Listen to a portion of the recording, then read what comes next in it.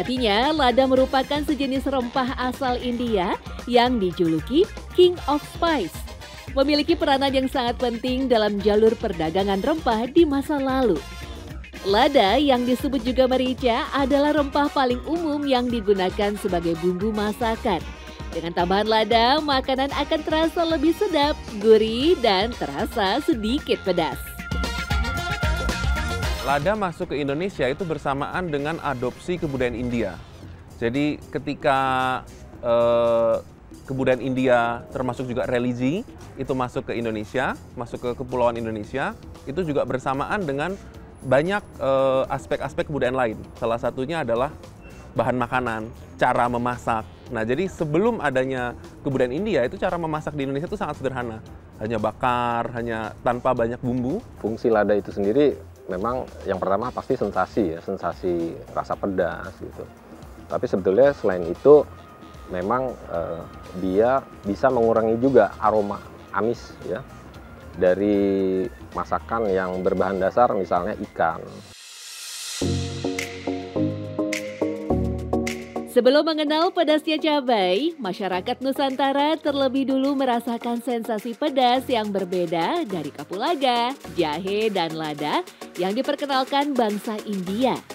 Berbeda dengan cabai, pedas dari lada memberikan sensasi menggigit dan membuat rasa hangat di tenggorokan berkat adanya zat alfa hidroksi. Lada atau merica sudah dibudidayakan sejak lama. Masyarakat Yunani kuno bahkan telah mengenal lada sejak tahun 372 sebelum Masehi. Sementara di masa Mesir kuno, lada dimanfaatkan sebagai bahan mengawetkan mumi. Kita tidak bisa tahu ya berapa lam, berapa tua, tapi kemungkinan yang paling tua itu bisa sampai 2000 eh, tahun sebelum Masehi, ya kan? Karena kita bisa menemukan eh, penggunaan lada ini di beberapa kebudayaan lain selain India. Misalnya di Mesir, yang dia mendapatkan lada dari India, kemudian dia meletakkan lada itu di hidung mumi. Salah satunya mumi dari raja atau eh, Fir'aun Ramses kedua. Sekitar tahun 1492, penjelajah asal Italia, Columbus, mendapati jika tanaman lada yang tumbuh di India Barat banyak dimanfaatkan untuk pengobatan dan bumbu masak. Ia lalu membawanya sebagai komoditas perdagangan. Sejak saat itu, lada jadi rempah paling penting di dunia. Sehingga dijuluki sebagai rajanya rempah-rempah alias King of Spice. Kapal-kapal dagang dari berbagai penjuru dunia berdatangan ke India untuk menukar emas dengan lada. Saking bernilainya lada, tidak ada lada yang didapat kecuali lada yang diwarnai dengan darah. Begitu menurut penulis dan filosof Perancis Voltaire. Lada itu menjadi sangat berharga di Eropa itu abad ke-5 sampai dengan abad ke-15. Itu di abad yang kita sebut sebagai abad kegelapan Eropa ya kan? Nah, pada periode itu mengapa lada itu penting bagi Eropa? Sebetulnya sederhana, karena itu bumbu masakan dan Eropa tidak punya banyak akses terhadap bumbu masakan. Jadi pada periode yang sama, garam juga mahal, lada juga mahal, ya kan? Nah, itu eh, sebabnya mengapa lada itu menjadi sangat penting dan lada pada periode itu dihargai juga sebagai pengganti alat tukar mata uang ya. Pada abad pertengahan, jenis lada hitam digunakan untuk menyembunyikan bau busuk daging. Lada hitam menjadi rempah paling tua di dunia. Saking kuatnya pengaruh lada hitam di dunia kesehatan kuno, lada hitam telah banyak digunakan dalam metode pengobatan tradisional seperti Ayurveda, Unani, dan Sidat. Bangsa Portugis lalu membawa lada ke Nusantara sekitar abad ke-16. Perkebunan lada kemudian berkembang di berbagai tempat. Pulau Sumatera bahkan terkenal sebagai daerah penghasil lada sejak abad ke-17, menghasilkan 39 ribu ton lada. Melimpahnya lada Nusantara kemudian berbuah konflik antara pedagang barat dengan penguasa lokal. Eh, dulu itu ada tiga kesultanan yang paling besar penguasa lada. Yang pertama ada Kesultanan Banten yang menguasai juga Lampung dan Sumatera bagian selatan. kemudian ada Kesultanan Aceh yang menguasai Sumatera bagian utara, dan ada Kesultanan Banjarmasin yang menguasai Kalimantan Selatan. Inilah yang menjadi penghasil lada. Jadi pada waktu itu Sultan Haji sebetulnya ingin mengambil tahta dari ayahnya, uh, Sultan Ageng Tirtayasa, kemudian dia meminta bantuan VOC. Dan VOC mengajukan syarat, saya mau membantu Anda, tetapi Anda harus menyerahkan monopoli lada Dalam dunia perdukunan, lada atau merica kerap dijadikan media pelet. Namanya pelet pelintir merica. Ilmu pelet ini tidak termasuk pengasihan karena hanya bisa untuk membangkitkan nafsu birahi dari wanita yang jadi targetnya.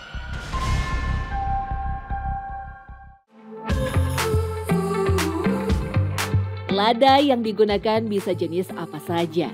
Ada lada hitam, lada putih, lada hijau, dan lada merah, semuanya ditanam di Indonesia.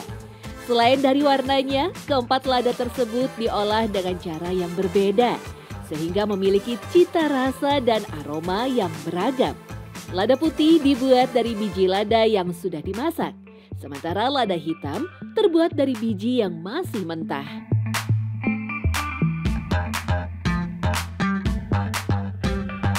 Ya, lada putih lebih mahal karena satu ya e, petani itu kan harus menunggu lada ini matang. E, kemudian pada saat e, dijual dipasarkan itu lada putih kan memang benar-benar murni lada. Pada saat dijual berat bersihnya gitu ya. Nah kalau lada hitam ini berat bersihnya kan beserta kulit. Jadi e, itulah yang saya rasa membuat lada putih lebih mahal ya daripada lada hitam karena memang dia benar-benar murni menggunakan bagian dari lada itu, bagian dalamnya. Dikarenakan aroma dan rasanya yang kuat, lada hitam paling banyak digunakan sebagai bumbu atau bahan tambahan pada makanan. Terlebih pada kuliner khas India. Penggunaan lada tak boleh absen, memberi warna tersendiri pada kuliner ala India yang otentik dan kaya rempah. Ayo, siapa mau coba? 99% khas buat masakan India. Kita 99% pakaian lada. Lain masak juga, lain rempah-rempah juga ada kita, tapi khas lada, rempah-rempah. Ya seperti itu, seperti itu udah biasa itu kita masak ya. Apa pun kita masak ayam kari, daging kari, rogan josh, atau butter chicken, atau yang tadi kita masak karahi panir. Tadinya saya pakai lada juga, itu buat aroma, jatuhnya aroma. Kalau kita perlu, kita pengen pedas, kita bisa cabai bubuk masuk atau cabai rawit masuk. Dalam kuliner Nusantara, lada umumnya digunakan pada masakan bercita rasa pedas. Misalnya pada olahan gulai atau tongseng. Sementara untuk sajian sup, lada memberikan sensasi rasa hangat pada kuahnya. Bikin nyaman. Dalam penggunaannya, lada giling segar lebih dianjurkan daripada lada bubuk. Namun untuk menjaga rasa dan aromanya, sebaiknya taburkan lada pada proses akhir memasak. Dalam proses memasak tentunya setiap orang punya cara berbeda ya.